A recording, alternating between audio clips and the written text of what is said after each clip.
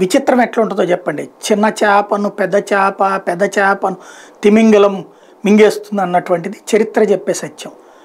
భారతదేశంలో దెబ్బతీయడం కోసం భారతీయులు లేదా ఇస్లాం మతాన్ని నమ్మని వాళ్ళని కాఫిర్లు అంటే అజ్ఞానులు అని చెప్తుంది పాకిస్తాన్ కానీ పాకిస్తాన్కి సంబంధించినటువంటి తీవ్రవాద ముఠాలు కానీ కాబట్టి భారతదేశం మీద పవిత్ర యుద్ధం చేయడంలో తప్పు లేదంటుంది.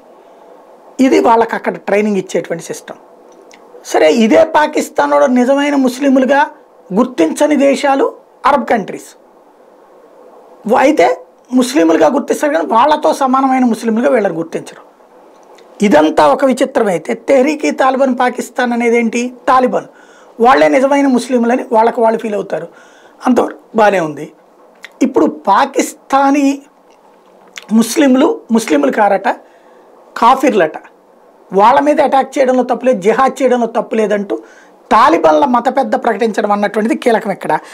Afghan and Pakistan Taliban have the anti against Islamic republic of Pakistan this is the debate over whether Pakistan is an Islamic state with an Islamic constitution is only escalating this after Pakistan's grand mufti Taqi Usmani called Pakistan and Islamic state in year response to that TTP and in the undated audio of Taliban supreme leader mullah Hibatullah అకూజ అకూర్ జిందా has now surfaced he said Pakistan's constitution is an Islamic the laws of the country are British and can not be termed an Islamic state ఇప్పటికీ పాకిస్తాన్లో అనుసరిస్తున్నది British వాళ్ళ చట్టాలే కానీ Islamic చట్టాలు కాదు.